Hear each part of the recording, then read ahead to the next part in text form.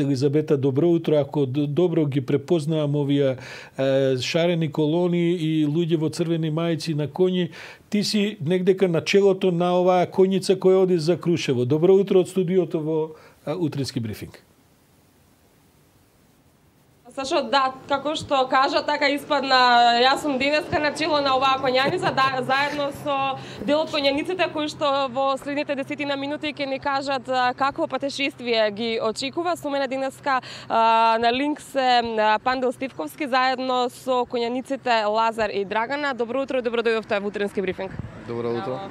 А, може ли само за почеток да ни кажете, еве, Драгана, ти си девојка и би ти го дала зборот тебе, нели ќе ти дадам предност. А, какво е чувството да се биде дел од конјаницата која што тргна за Крушево и се очекува да стигнете таму на 2 август? Сега вака, знаете кога ќе ми речат девојка, јас се чувствувам подеднакво исто. Значи правилата важат и редот и се она како ќе се договориме, како и за дечките, така и за мене, така да нема некои поголеми подвојувања без разлика на тоа што сум девојче. Четврта година поред ми е навистина задоволство што учествувам кога ќе можам и понатаму би сакала да останам дел нели од маршот во било кое својство задоволство и привилегија да се поклониш на честа на елиденците, на луѓето кои што направиле многу за, за Република Македонија, така да мене ми представува секоја година се поголема чест да учествувам на маршот. Тука е и Лазар. Лазар, ако не се лажам и ти четврта година поред си дел од овој марш, какви се предизвиците? Каков е патот до Крушево? Дали е тешко се стигнува?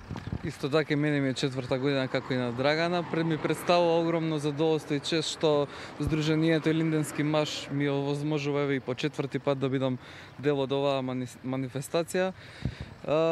Патот патот ко пат се случуваат и непредвидени работи, генерално се води во најдобар ред, но имаме некогаш се случува и нешто непредвидено, но тука желбата и, и страјноста и срцето на сите дечки што јаваме заедно и девојките со нас и Какви се реакциите на граѓаните кога поминувате низ нивните населени места? Како бе пречекуваат? Па има најразлични реакции. Често луѓето реагираат а, природно не, не, не, не поддржуваат и Така, Пандел, вие сте во организација на Илендинскиот марш. 42 години, ако не се лажам, се случува во Илендински марш. Може ли да ни кажете нешто поточно за ова?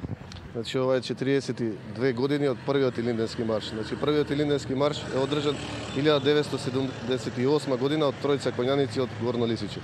Значи, 98 е обновен маршот и еве 23 година поред традиционално секоја година во црквата Свети Петар и Павле почнува Илинденскиот марш. Има ли каде да преспиете?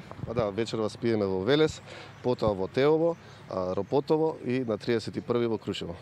Каков е интересот за на ирландинците, односно на куњаниците? Дали секоја година се истите луѓе, дали се зголемува, се намалува начинот на кој што може секој кој што сака да биде куњаник за наредната година може би да ги информираме? Па ние имаме секоја година конкурс од оваа година некои се исти јавачи, имаме и нови јавачи, така да интересот за учество во Линденскиот марш секоја година е све поголем и поголем. Значи во ограничување на нашите финансиски средства ги одредуваме и бројот на конјаници. И а, она што е најубаво и што е најважно да споминеме на 2 август символично ќе бидете на во Крушево, а, што таму ќе се случува? Па на 31 а, јули со конјаницата, нашата конјаница се спојува со конјаницата од Кичево, Маврово, Свети Николе и сите заедно влегуваме во Крушево. На втори а, сите заедно идеме на Мечкин камен да положиме цвеќе на нашите илиндинци. Јас ви посакувам среќен пат, без многу потешкути и со лесно да го поминате патот и да си го честитаме најголемиот национален празник Илинден, еве уште сега пред време. Благодариме. Нема да ве задржуваме повеќе, бидејќи коњаницата чека. Ние ве соправме на патот некаде после Обштина Петровец и затоа ќе се одјавиме сега од тука. Студио?